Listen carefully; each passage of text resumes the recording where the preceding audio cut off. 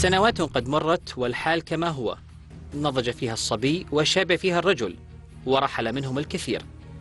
ارتبطت أنفسهم بالبحر وخيراته وظلت معهم مشاكلهم التي لم تحل إلى يومنا هذا. وما زالوا في انتظار الأمل.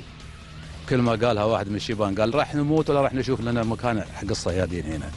فكنت أنا شباب ذاك الوقت أجلس معاهم ومش مستوعب الكلام يعني اللي يقولونه. متى يصير عندنا مرفأ؟ فمعقوله يعني يصير عندنا مرفأ إحنا في الدمام هنا يعني واجهة حضارية ما في مرفأ عندنا ما يصير. ففعلا كان كلامهم صحيح يعني. توفى الله يرحمهم.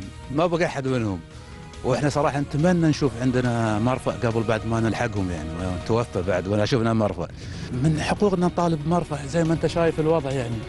الوضع يعني مزري جدا. يعني نجي نبغى ندخش بحر صعب. نجي نبغى نحمل بنزين صعب. نبغى نعبي بنزين محطات البنزين ما يسمحون لنا. تظل الدمام بدون مرسى وخدماته رغم أهميته مقارنة بالمدن الأخرى بالمنطقة التي تحتضن أبنائها من الماهرين في مهنة الصيد والتي تنظم على الحفاظ على الثروة السمكية. نعاني من مشاكل الصيد الجائر بالنسبة حق العمالة الوافدة. في ناس يصيدون بطرق غير سليمة وفي ناس يصيدون بعض الأسماك اللي آه، آه، الأسماك هذه تكون موسم آه، البيض حقها. هم يصيدونها في الوقت اللي حامل البيض قبل توضع البيض حقها. فهذا مما يقلل نسبة الأسماك بالنسبة للعدد يعني. وفي نفس الوقت لو خصصوا الثروة السمكية مراقبين في الأسواق اللي بيع الأسماك الناس اللي تجلب الأسماك هذه يشوفون إيش اللي صاد. هل مسموح له ادخال السمك هذا في الوقت هذا ولا ممنوع؟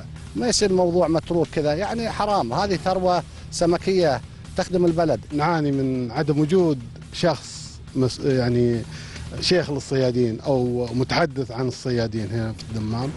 على الأقل يرفع معاناة الصياد ويرفع مشاكله للجهات الرسمية لحلها ووضع حلول لها قاعدين يتحكمون في السوق وفي البيع وفي الشراء كلهم الأجانب.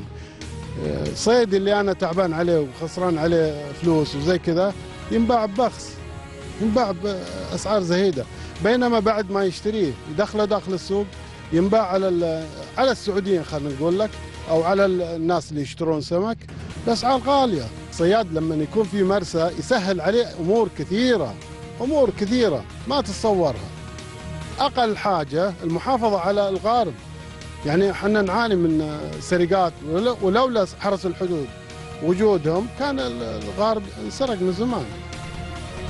المشكلة فقد عرفت فإلى متى يظل الصيادين تائهون بدون مرسى ينظمهم ومتى يكون الحل؟ لبرنامج ياهلة حسين الحميدان الدمام.